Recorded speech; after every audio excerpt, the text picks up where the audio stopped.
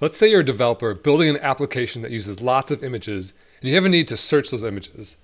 Let's use Nyckel to walk through an example of how to do that. For this example, we're going to be searching images from the pics subreddit. First, log into Nyckel, click New Function, choose Image as the input, and Search as the output. Click Create Function.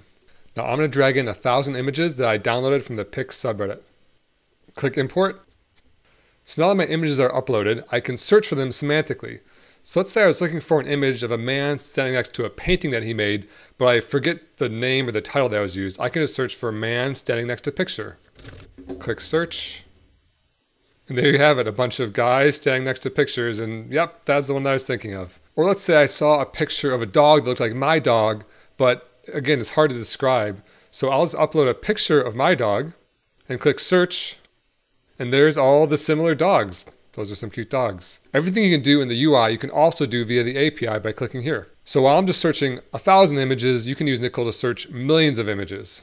As soon as your images are uploaded, the API endpoints are ready to go. That's how you use Nyckel to search images in your application.